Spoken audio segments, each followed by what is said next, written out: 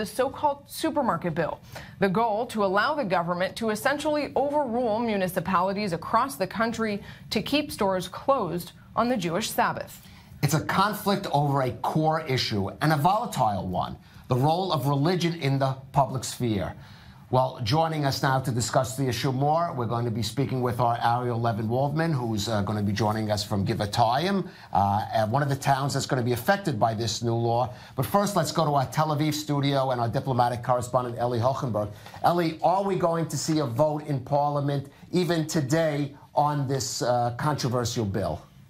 Well, Kalev, the simple and honest answer is that we do not know yet. Even the coalition itself is not uh, aware of what exactly will happen when the vote will take uh, actually take place and under what circumstances. But let's first try to put things in order. The current reality is that a municipality can legislate a bylaw, and then the interior minister, Deri for that matter, can foil it in 60 uh, days after it was uh, uh, proposed or after the legislation passed. The discussed change is that uh, in order for a municipality to pass a bylaw, it will need the signature of the interior minister, hence foiling it in advance. And as you've mentioned, many municipalities are vehemently against that notion. Uh, what type of businesses will be affected? Supermarkets, convenience stores, coffee shops, cinemas, vital businesses will not be effective. Uh, and as you mentioned, uh, Kalev, this sensitive issue of religion and state affairs is an ongoing dilemma for the ruling coalition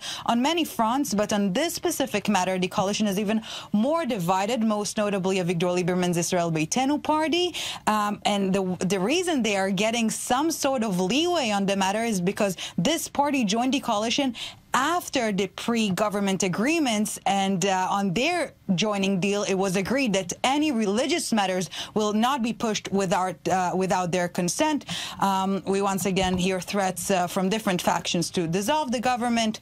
My guess, everything will remain intact.